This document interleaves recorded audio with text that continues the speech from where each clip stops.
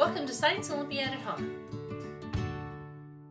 Hi, my name is Sherry Haug and I'm the Elementary Director for Science Olympiad.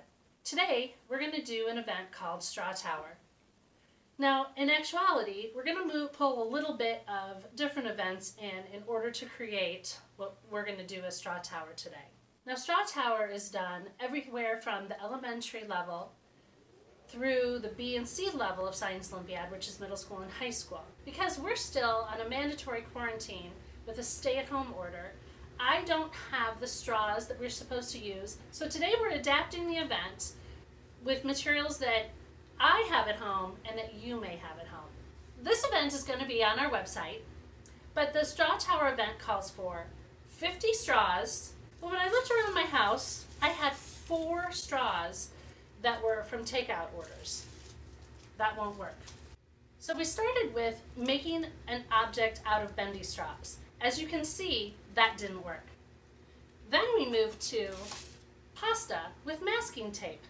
Still wasn't very strong, and I, we, been, we broke a lot of pasta to get to here. So then I tried pasta with marshmallows. That was even worse. Then I broke my pasta in half and put marshmallows on it, and that seemed to be pretty strong. I also did the same thing with toothpicks, and that seemed to work really well. The first thing you're going to need are structural materials. You could use marshmallows and pasta, you could use marshmallows and toothpicks, or you could use straws and masking tape. But with any of those, you're going to need a tape measure so you can measure the height of your tower. Can be in metric or standard units. And lastly, you're going to need a tennis ball. You're going to need something to show how strong your tower is. If you don't have a, have a tennis ball, you'll notice in our last episode we have a new puppy in our house. So we have all kinds of little puppy toys laying around, and that could be used as well. I've decided that I'm going to use pasta for my competition. Whatever you decide to use for your materials, everyone in your group that you're competing against needs to use the exact same materials. In my competition, we're going to use 25 pieces of pasta.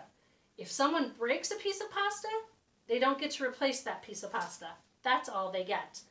The marshmallows, we're going to say, are unlimited at this point because they do get squishy when they get warm. So I'm not going to show you how to build a, a straw pasta straw tower today, but I am going to encourage you to go online and look at buildings online. I'm going to encourage you to look at the shapes that are used by architects when they are designing buildings. And I think you're going to see what would be considered strong and what is not strong. So for instance, if you look at buildings online, you're not going to see a lot of circles in those buildings because materials don't come naturally in round shapes, but you are going to see a lot of other shapes and try to mimic some of those shapes. Now if you look at my square, you can see my square isn't real strong as a true square. What can I do to this square so that it doesn't rack the way that it does?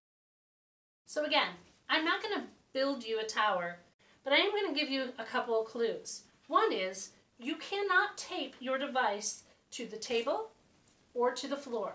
You cannot attach it to anything. It has to be freestanding. The second thing is, you're trying to build the tallest, strongest tower of anyone you're competing against. So it needs to be tall, but it has to be strong in that it will hold an object. You decide what that object is going to be. In this case, we're going to use a tennis ball. But it needs to be able to hold that tennis ball for three seconds before the entire thing falls over. But it has to have a receiver at the top. And when you measure your straw tower, you're going to actually measure from the ground to wherever that tennis ball is in the tower. So even though my pasta goes beyond my tennis ball, I'm going to measure only to the top of that tennis ball. Okay, now it's time to build. So here's my daughter Riley. This is her first attempt, and you can see that the ball would have stayed in that tower for a long, long time. Three. Dang! Are you going to keep going? Nope. But she did, and as you can see, the tower was no longer strong enough to hold a tennis ball. Now here's my husband, Brian. His tower is not very strong at all. So he adds what he's calling the flying buttresses, and you can see that he was successful and it held for over three seconds. And when we measured, he was at 12 inches. We got exactly 12 Uh-huh. inches. Have fun with Straw Tower. Just remember that you're going to have to make changes to your build and you may even pick materials that aren't pasta and marshmallows. The idea is to practice building strong and tall towers. Have fun.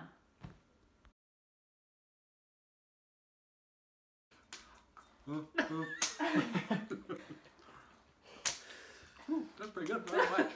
Throw it in my mouth. Throw it in my mouth. Coming at you. you close your eyes. I thought, I thought I was gonna throw a lot faster than I did. Oh, off the tongue. Throw one at me. Okay, ready? it's a lot harder than it looks. Okay, this one.